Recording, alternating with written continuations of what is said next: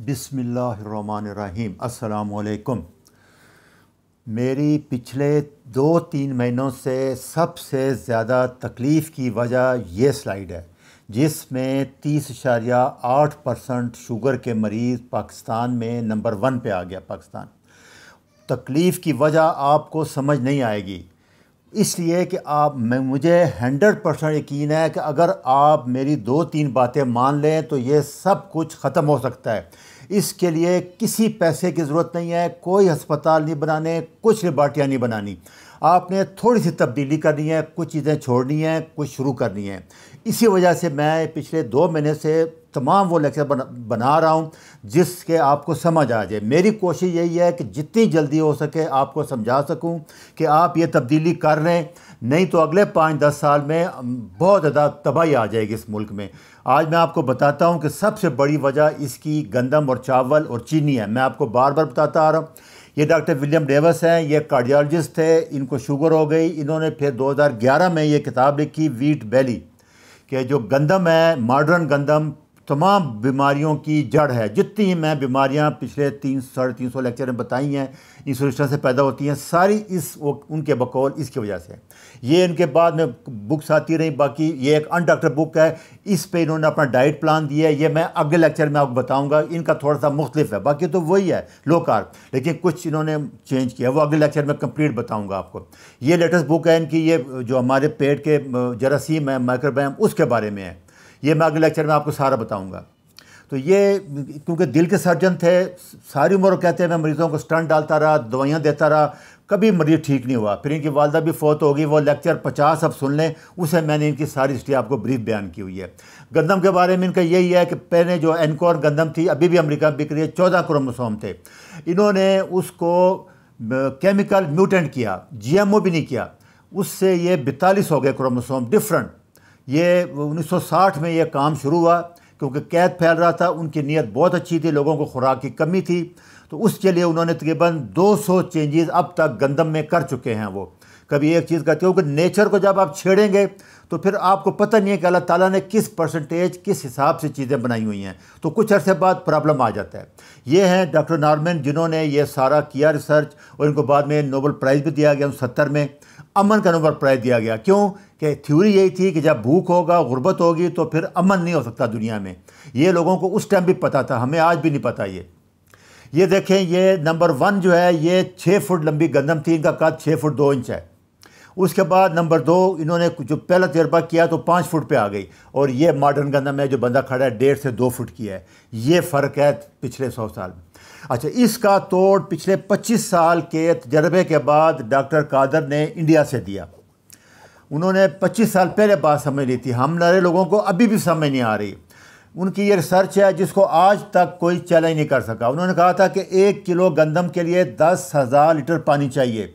एक किलो चावल उगाने के लिए बारह से पंद्रह हज़ार लीटर पानी चाहिए और एक किलो गन्ना उगाने के लिए बीस हज़ार लीटर पानी चाहिए और ग्यारह महीने ज़मीन जो है वो ब्लॉक होती है, गन्ने की फ़सल खड़ी रहती है। ये इनकी रिसर्च है। अच्छा उसके बाद उन्होंने कहा जी मिलट, जिनके बारे में मैं लेक्चर बना चुका हूँ, आगे बताता हूँ आपको। एक किलो मिलट के लिए तीन सौ लीटर पानी चाहिए। कोई फर्टिलाइज़र नहीं चाहिए। ड्राई लैंड, बंजर ज़मीन पे भी उग सकती है। सड़क के किनारे वो कहते हैं लगाते जाएँ, ये उगती जाएगी। और हमारा बलूचिस्तान और सिंध इसके लिए बेहतरीन है। अच्छा इसका इतनी तकलीफ़, इतना कुछ करने के बाद हमारे यहाँ क्या हो रहा है? तकलीफ़ दे चीज़, जिस पे बहुत तकलीफ़ है। हमारे यहाँ अभी भी गंदम पर रिसर्च करके एक सौ मन गंदम ली जा रही है पैदावार। 115 मन ली जा रही है। और जब मैं इसका लेक्चर सुना तो कह रहा था जी मैंने आम हालत में चार पानी लगाते हैं, मैंने बारह पानी लगाए हैं। आप इनकी अक्ल का अंदाज़ा करें। ये देखें, सौ मन। और इस पर फ़ख्र कर रहे हैं, हमारी हुकूमत इनाम दे रही है। ये चीज़ बंदे को बहुत तकलीफ़ देती है कि पूरी दुनिया के साथ नहीं चल रहे, इस चीज़ को समझ नहीं रहे आप। फिर यही बता दूँ कि इसके लिए कोई सैल फर्टाइल नहीं चाहिए बलुस्तान बेहतरीन है, वहाँ इक्कीस सेंटीमीटर बारिश होती है, इसके लिए बीस सेंटीमीटर चाहिए। पूरा सिंध, बलुचिस्तान, रेगिस्तान बेहतरीन है इसके लिए। ये मैंने लेक्चर बनाया तीन सौ पच्चीस, इसको ज़रूर देखें। ये पाँच मिनट है, इसका मकसद यही है कि आप कोशिश करें, शायद कुछ अर्से बाद शुरू हो जाए मिलने। नहीं तो अभी जवार, सोरगम, ये मिलट मिल रहा है। इस पे आप आ जाए, मैं लेक्चर बना चुका हूँ, वो आप सुन लें, लेक्चर नंबर तीन सौ बत्तीस। इन्होंने दस बड़ी वजह जो बताई हैं, वजह तो और भी बहुत साबित हो चुकी हैं। बड़ी बड़ी वजह सिर्फ़ आपको बताता हूँ कि ग्लाइडिन प्रोटीन है, जो कि ओपियड है, फीम वगैरह के दिमाग पे इफ़ेक्ट करती है, इससे भूख बहुत लगती है। और इसका हज़म नहीं होती मैदे से निकल जाती है और डैमेज इन्फ्लेमेशन काज करती है। ये वो बीमारियाँ हैं आटोम्यून ख़ास कर जो कि गंदम से पैदा होती हैं, ये इनके लेक्चर में मिल जाएँगे आपको। अच्छा ये इसके बारे में इनका सारा यही है। आप सल्ली से जाके सुन सकते हैं ग्लाइडिन जो प्रोटीन है ग्लूटीन लहदा है ग्लाइडिन लहदा है इसका इफ़ेक्ट ब्रेन पे बहुत ज़्यादा है। ये इसका इफ़ेक्ट है कि भूख लगेगी, नींद आएगी, और अब ज़्यादातर ब्रेन अब बच्चों में ए डी एच डी आ रहा है सारा।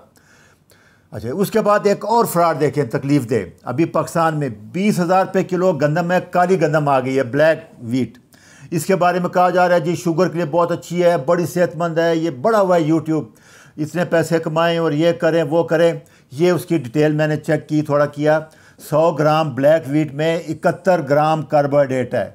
अंदाज़ा कर लें फ्रॉड का। और ये देखें, ये हमारी आम गंदम में सत्तर ग्राम है। और ये बाकी सारे अनाज में आप देखें सत्तर, पचहत्तर, साठ। असल मसला ये है, और फाइबर देखें सबसे कम है, और इसमें भी आप फाइबर देखें दस ग्राम में, बस। और ये पंद्रह से बीस हज़ार रुपये किलो रेट बता रहे हैं। ये दूसरा अलमिया देखें। उसके बाद ये इसके बारे में कुछ है, कुछ चीज़ें हैं, केमिकल है, सारा। उसके बाद ये चावल वाले पिछले रहे, इन्होंने ब्लैक चावल निकाल लिए हैं। इसमें भी बयासी, पचासी परसेंट कार्बोहाइड्रेट है। ये फ्रॉड आ रहा है, इससे बच जाएँ। खुदा के लिए इसको उनको अल्लाह ताला हदायत दे दे कि ये काम ना करें, जो मैं कह रहा हूँ, वो सोचें।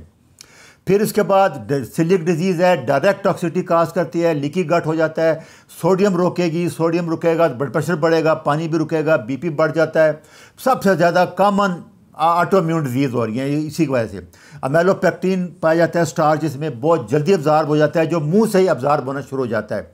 इंसुलिसंस काज करेगा और इंसुलिसंस के बारे में आप पिछले में लेक्चर में सुन रहे हैं कि नब्बे परसेंट बीमारियाँ इसी से होती हैं। और दूसरा, दांतों का, वो कहते हैं देखें ये दस हज़ार साल पुरानी खोपड़ी मिली है, बारह हज़ार साल दांत पूरे साबत हैं इनके, गंदम नहीं थे उस ज़माने में, सिर्फ़ वो कार्बोडाइट खाते थे।